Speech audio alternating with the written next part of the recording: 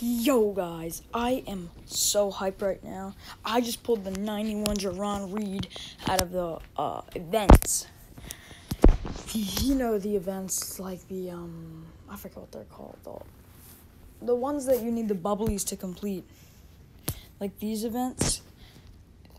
You get a chance at a 91 overall New Year's player, and I got that Jarran Reed, which for me, unluckily, is the cheapest card, but still a very good card.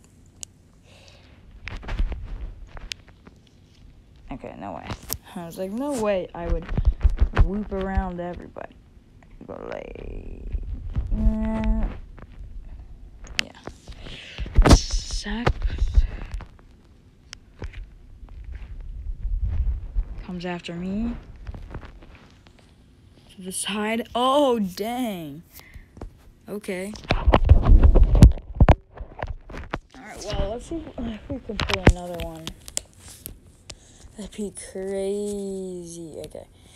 I saw the three cards and I pulled the Jarran Reed. I didn't even get a picture, but I mean, I guess I'll get that on the video. Let's go, boys. Let's see this man's stat. I don't know, that's the store. Let's see his stats. His Pats are. Oh, and he replaces the Damien Harrison. Dang. Okay.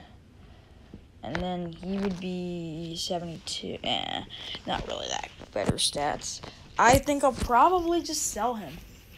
Because Damien Harrison, or actually, sorry. I'm going to see how much he, Damien Harrison quick sells for. Probably not that much. And yeah, only 228. So I'd probably get around 700, 800k. I just sold them, but thanks for watching. If you did enjoy the video, please like and subscribe. Thanks for watching, and as always, bye bye.